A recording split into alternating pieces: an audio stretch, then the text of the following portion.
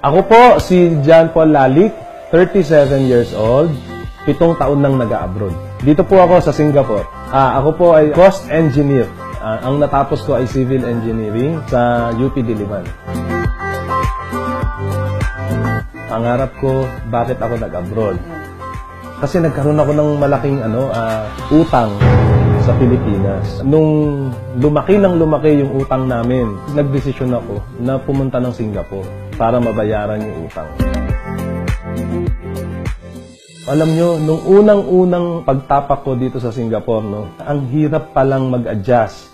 Hindi lang trabaho yung mahirap, yung mga tao din. Ah, Napakahirap talaga nung mga panahon na yon. Paskong Pasko, December 25, nasa opisina ako mag-isa. Nagtatrabaho. Di kailangan mo magtrabaho, wala kang magagawa. Alam na alam ko sa sarili ko na nag-e-effort na ako. Tapos, muntik na akong tanggalin. Tatanggalin daw ako sa trabaho. So, meron na akong isang buwan na parang isang araw lang o dalawang araw lang ang off ko. Yung buong buwan na yon, nagtatrabaho ako. Alam mo, na-realize ko nga, kahit nasa Pilipinas ka nagtatrabaho, o dito ka sa Singapore nagtatrabaho, kung tutuusin, halos pareho lang. Yung sweldo mo, ganun din, wala ding matitira. Ay, ganun, ganun kahirap yung magsimula para sa akin dito sa ano, dito sa Singapore. Actually, ako, bilib na bilib ako sa sarili ko. Akala ko, professional ako, okay na yon. Siguro, lumipas din yung dalawang taon, ibinigay, sinabi niya sa akin yung negosyo.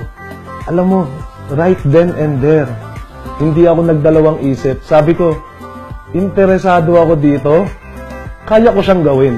Parang ganun. Oo, nag-decide ako. Kaya naman kumuha agad ako ng unit sa Studio A. Nung nakita ko yung opportunity ng investment dito sa sa Pilipinas, dahil dun sa nagkaroon ako ng mga properties, una simul-simula, isa, naging dalawa, naging tatlo, ngayon apat na. Nung na- nagkaroon ako ng mga properties, nakita ko yung potential ng renta, sobrang ganda pala. Tatlong property na yung na turnover sa akin.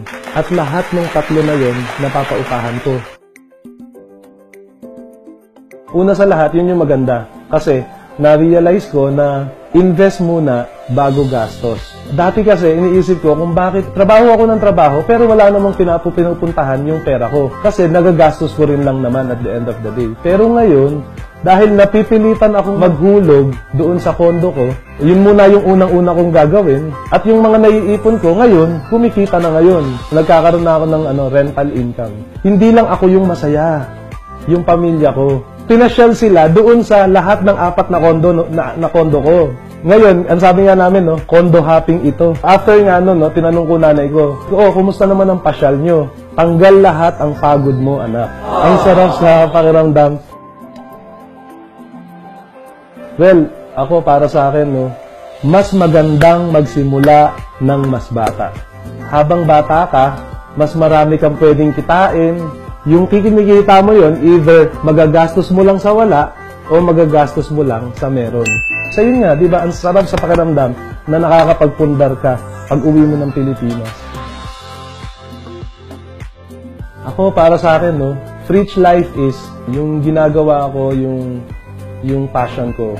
Kumbaga, wala akong iniisip na opisina, gigising ka ng 8 o'clock para pumasok, matutulog ka, kakain ka lang, o tulog ka pa ulit-ulit, di ba, routine. This time, no, you are doing your passion, you are helping people, and at the end of the day, yung fulfilled ka talaga sobra. Fridge your life!